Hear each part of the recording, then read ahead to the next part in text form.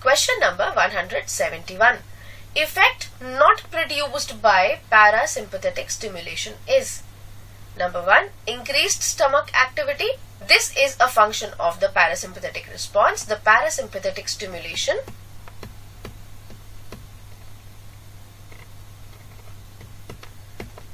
increases peristalsis and increases activity of the alimentary canal.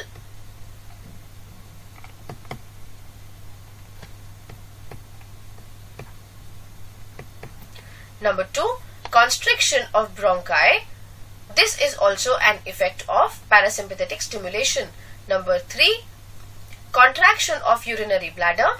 This also occurs under the influence of parasympathetic stimulation. Number 4. Dilation of pupils. This is incorrect as dilation of pupils occurs during fear, flight or fight response which is a function of adrenaline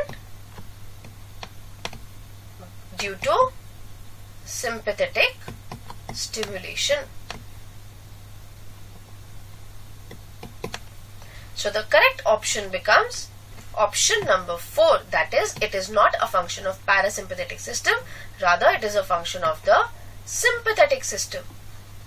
Moving on to the next question. Question number 172.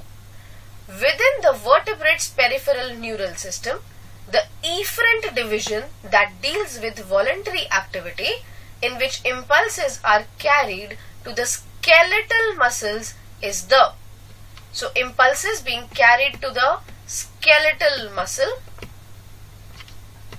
or the voluntary muscle is the function of somatic neural system.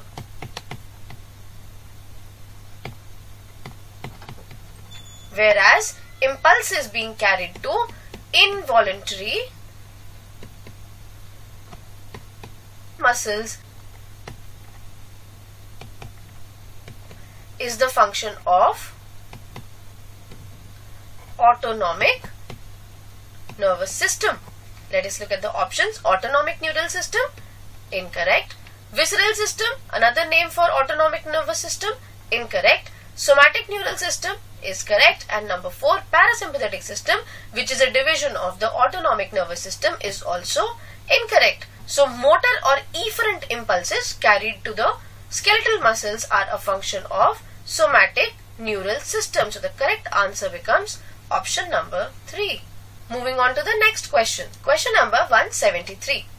Match the following and choose the correct option. Hippocampus is a part of the limbic system which converts the short-term memory into long-term memory. So let us see. 1 matches with E. Number 2, hypothalamus is the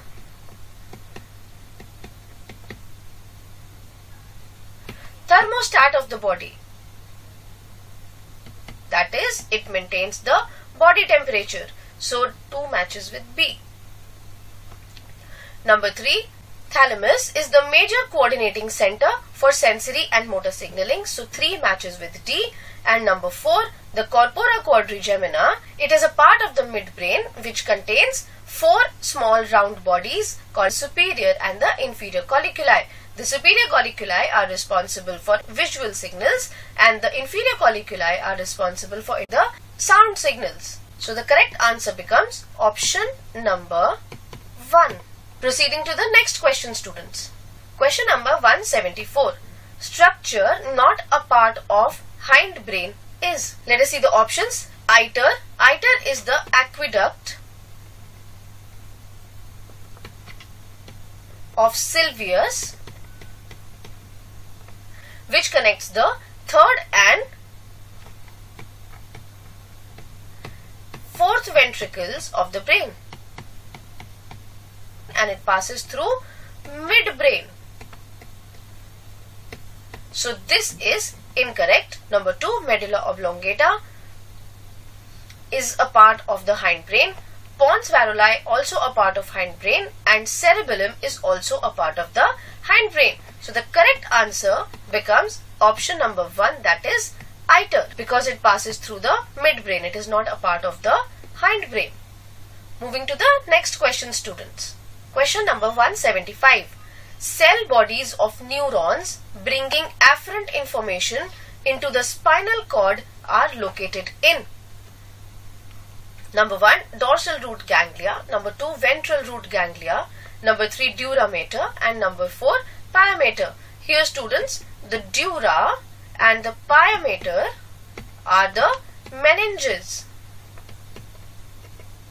So these are incorrect. The dorsal root ganglia receive impulses from the receptor neurons through the afferent nerves. Whereas the ventral root ganglia is incorrect because these send motor signals through efferent nerves to the effector organ. So the correct answer becomes option number 1 that is the dorsal root ganglia receive impulses from receptor organs. Moving to the next question students.